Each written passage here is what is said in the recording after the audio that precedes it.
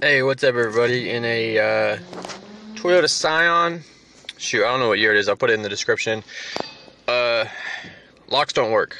The uh, this one, I can manually do it, but it does not respond to the buttons. It does not open or close. Now, the problem is, is door lock actuator. So basically, it's this guy right here. Um, both of mine in this car were bad for the passenger and the driver. I'm gonna show you a couple tricks you could use to know if your door lock actuator is bad. I know because I just replaced mine. So on that side, um, see it's working. Lock, open. Uh, this one is not though. Basically, this car, both of these were not working. I uh, I tore apart the whole dash and on the door to find out what was wrong, and uh, I found out a few tricks you could do. Number one is take your key and hit the lock and unlock button um, listen for a click down here. Let's go down here. This uh, this thing has the relay in it, I believe. Now you hit lock. now listen real quick.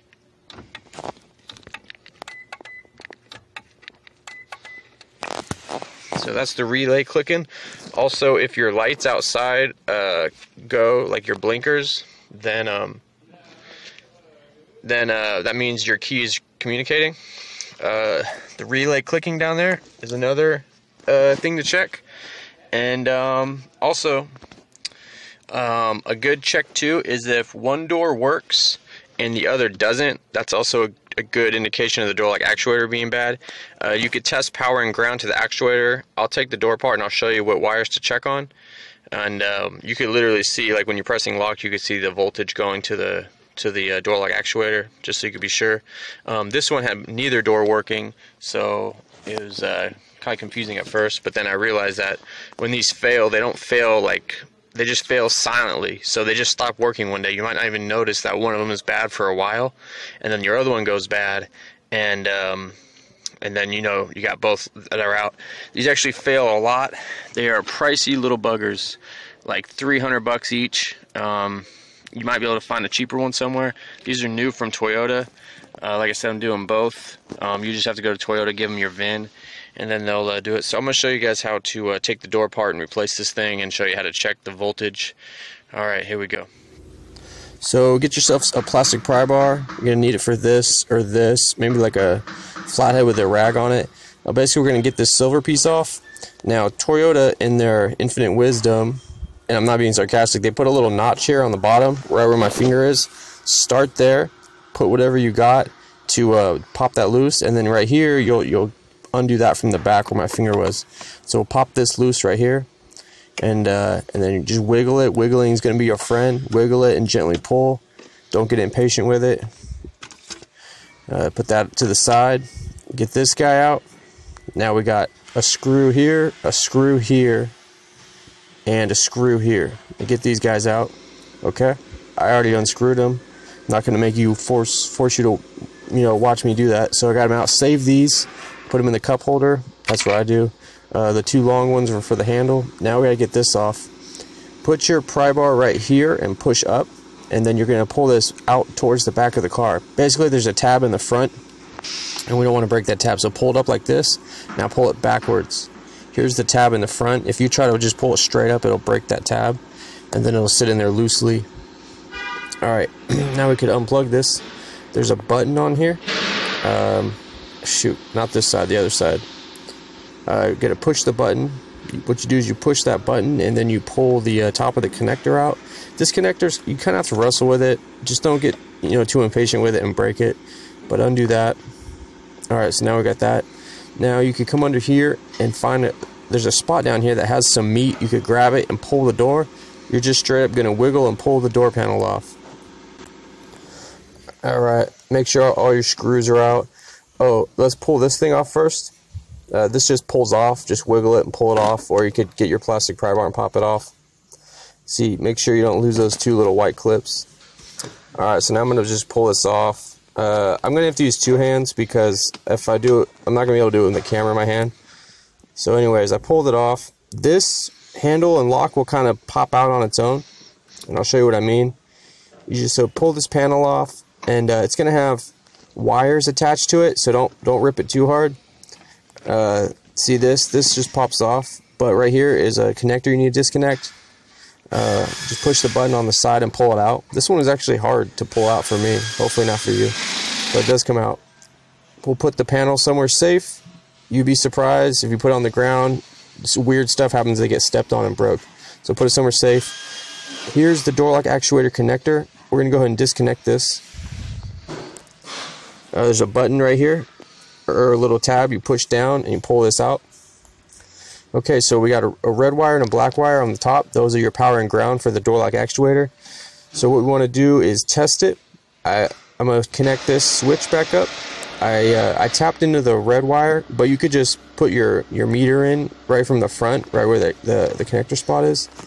And then I have this on the ground right here. I took the panel off on the floor and I'm tapped into the ground, but you could just put your meter right there. You don't have to tap into the wires.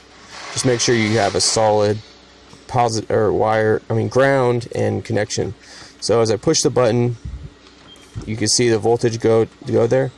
Um, it's saying 8 volts, but it should be 13.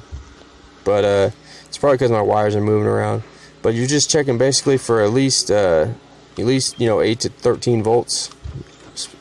There it goes. All right, see 13, and that's when I'm pressing the button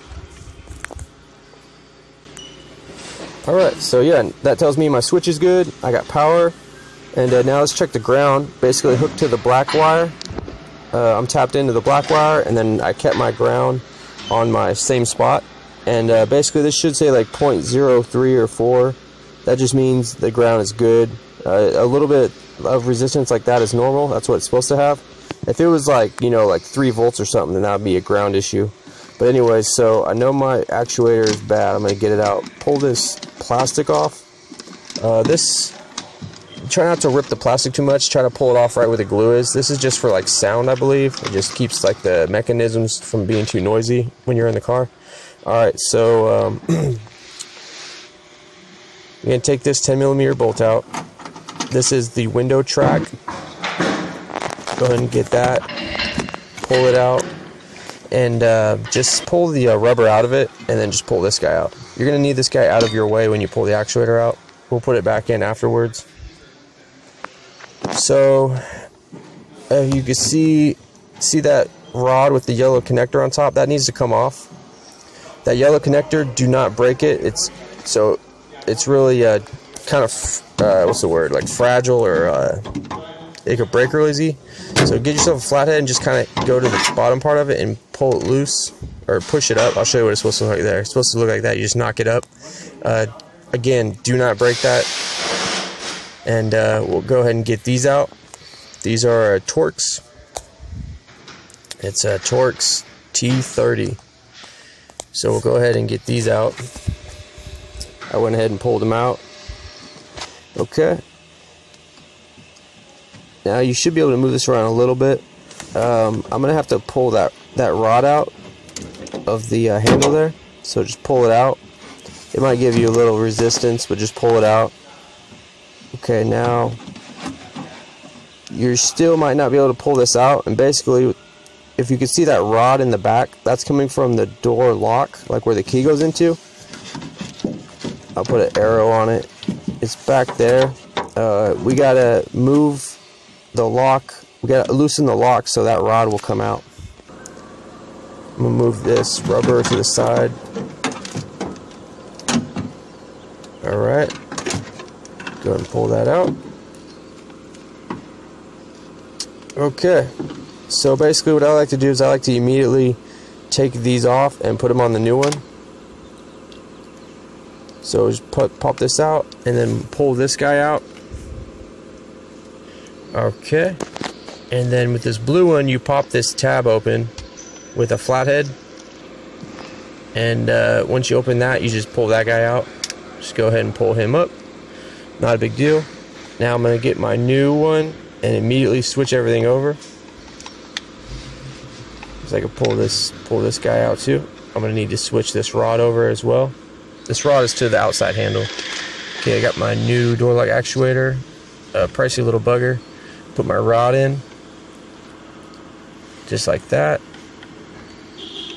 this is where that that that lock rod was going into it goes in and uh, yeah, it, it turns that. So I'll, I'll just hold on a minute and I'll show you how to do that when we put it back in.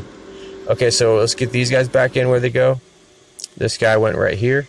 Make sure he's in good and then put this clip back on. Okay. Now we get this guy put in. Just put that little cylinder thing in and then make sure it's clipped in. It's important they get clipped in, hold them in place. Okay, so now we're to put it back in the door.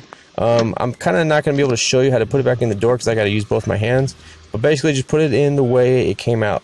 Uh, you will have to loosen the lock on the outside. I'll show you how to do that. So just hang tight.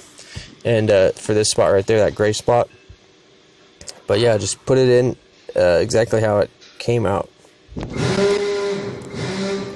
Okay, so that rod back there is what uh, we got to loosen up. So there's a little black thing here, pop it out. And then there's a Torx. You see I loosen that Torx and uh, this can move now. You loosen the Torx and it won't, this bolt won't fall. It'll just stay loose. Okay, so let's get this guy in first. I recommend put your door lock actuator in the door and put this guy in first. Make sure that rubber stays out your way. It the rubber piece for the window it, it goes like right next to the door lock actuator, so you might have to kind of move it around to see how it goes in. Here's the track for it. Uh, before you put the track in, it might help to put the door lock actuator, uh, uh, the bolts in, just so you know where the window window part is going to run. It runs kind of like right next to the door lock actuator. Okay, so get this guy in, run this guy right here, and then um, we'll go ahead and put the track on the rubber. Make sure the hole lines up right here and get this uh, bolt in. Very important that gets done. Okay guys, so now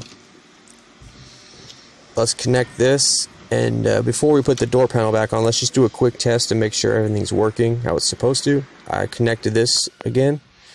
I'm going to uh, test the uh, door lock actuator. I'm going to close the door, turn my key on, and uh, we're going to make sure that this moves. Get my, my switch panel, plug my switch panel back in. Okay, now it's moving.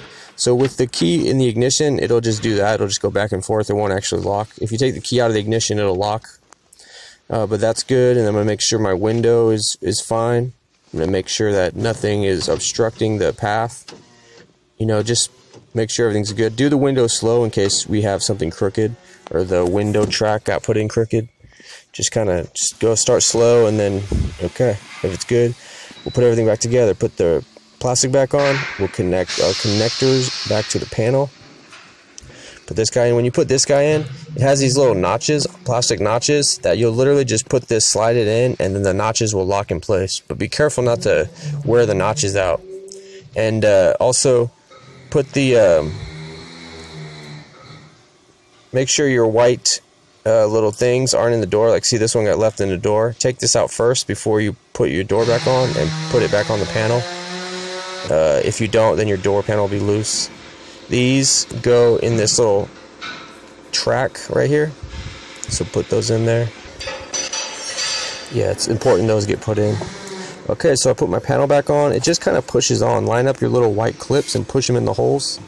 Then you could connect this. When we put this back in, you nose dive it like this to, to watch out for the tab. Put the tab part in first and then just gently uh, line the holes up and push this down into place. Remember, uh, wiggle and gently, anything with plastic, you always be real patient and wiggle it and gent gently put it in place. I'm to put my screws back in. The long screws go in the handle. After I got those in, I'm to put this back in place. Again, be patient, make sure you get it right. Uh, just line it up perfect and then gently push it in place. After it's pretty much lined up and in, you could kind of give it like a tap to get it in. But with this plastic stuff, we got to be real careful. Okay, put this screw in, and then this piece goes back in.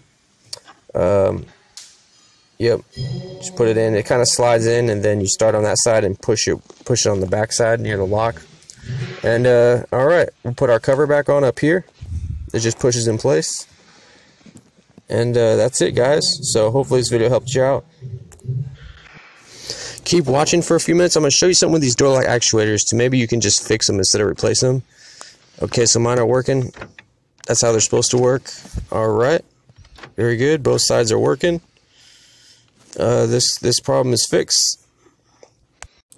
So I opened up a door lock actuator, and it looks like the only moving part really is this little motor right here. I think I saw a video where people replace this. I don't have any information on this, but here is the part number if you want to try this. Taking the door lock actuator part was a little hard, but uh, you know, just a little extra info. All right, thanks for watching. See you next video. Please subscribe.